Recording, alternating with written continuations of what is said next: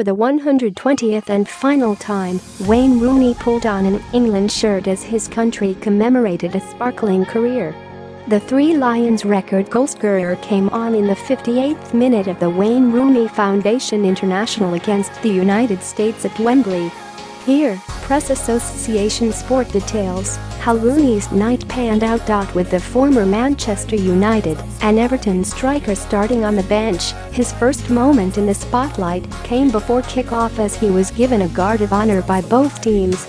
Rooney, with his four children, walked out onto the pitch, where he was presented with a commemorative plaque by Football Association Chairman Greg Clarke and Captain Harry Kane. Wembley was far from full, but those in attendance rang out the famous Rooney chant which has echoed around the National Stadium many times.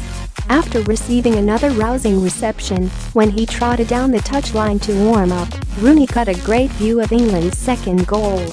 After Jadon Sancho played Trent Alexander-Arnold in down the right, and the Liverpool fullback fired into the bottom corner, the young Three Lions came over to the corner in front of where Rooney was to celebrate.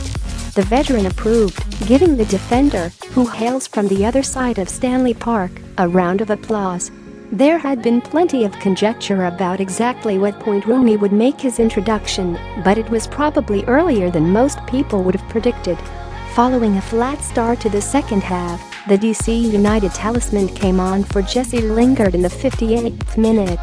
It brought the biggest cheer of the night as he received a standing ovation and high fives and back slaps from his teammates. Fabian Delph, who stayed on the pitch, made his way over to the touchline to hand the 33-year-old the armband. Little over 10 minutes into his appearance, Rooney was given a surprise but not necessarily one he will have wanted.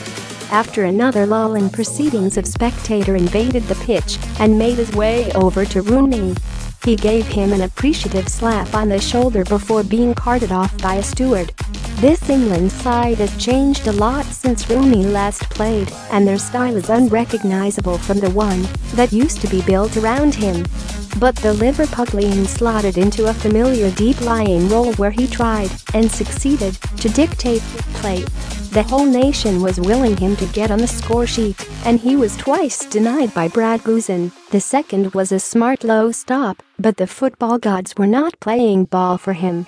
His tally, as impressive as it is, will stay on 53. After hugs with his teammates at the full-time whistle, Rooney embarked on a lap of honor of the Wembley turf, with fans staying behind to show their appreciation.